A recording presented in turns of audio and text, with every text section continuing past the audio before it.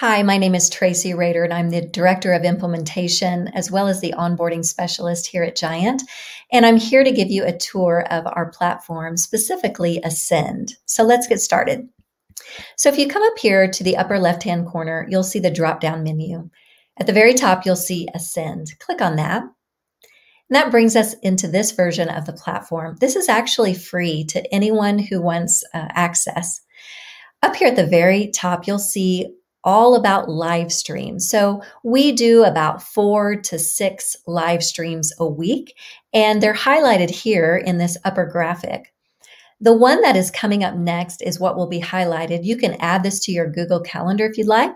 But when it goes live at, for instance, this Wednesday, November 11th at 3 o'clock, you will see a live button. You can just click on that and join us there at that point.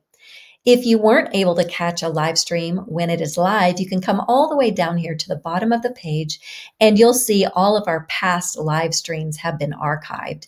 If you come here to view all, you'll be able to see many, many live streams that we've done in the past. Feel free to use any of those that you'd like underneath the graphic for the live stream. And by the way, when this live stream ends, the next one will pop up. So you'll see a new graphic each time a new live stream is ready to go.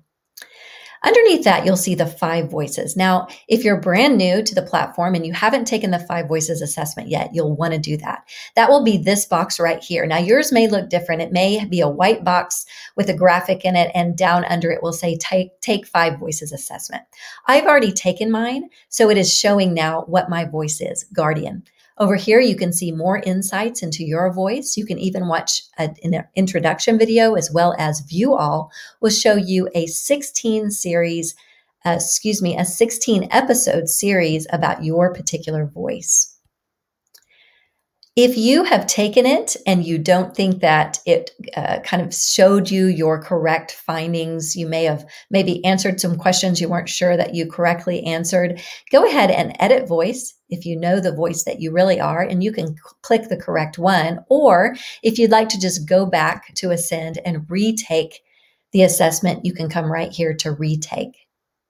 Underneath that, you'll see our popular series, all kinds of amazing content about being purposeful in your personality, in leading others, uh, managing stress. You can meet the founders here. There's a toolkit series that's very helpful.